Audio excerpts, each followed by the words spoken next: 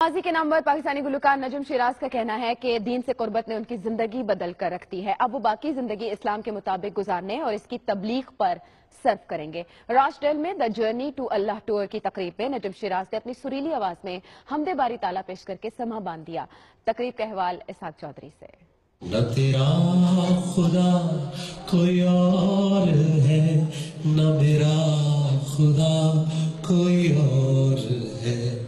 ये जो रास्ते हैं जुदा जुदा ये मामला कोई और माजी के मुमताज़ गुलकार नजम शराज ने गुलकारी को खैर बात कहकर दीन इस्लाम की तबलीग को अपना मकसद हयात बनाने का ऐद किया है। रोचडिल में जर्नी टू अल्लाह टूर के अनुमान से मुनदा तकरीब में नजम शराज ने अपनी ज़िंदगी में आने वाले नशेब फराज और दीन की तरफ़ रगबत के वाकयात पेश किए। इस मौके पर उन्होंने अपनी खूबसूरत आवाज़ में हमदे बारी ताला पेश करके हाजरीन पर रिक्कत तारी कर दी।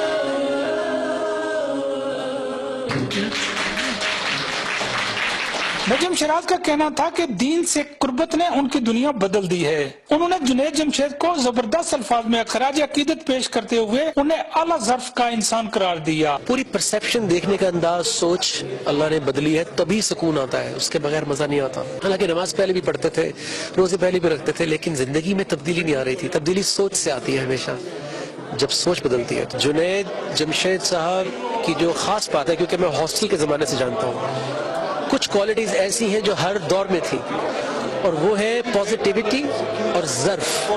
जर्फ बहुत अच्छा था। तकरीब में शरीक खुवातीन और हजरात ने नजम शराज के मिशन को बेहद रहा और कहा कि वो आज यहाँ से बहुत कुछ सीख कर जा रहे हैं। I've learned something today. So thank you so much to Najib Shiraz. I've followed him since I was a kid. I think it, this will inspire other people to look into their deen, look into what it is they're doing and return to, to, to the true deen inshallah. Jumba is here to promote that.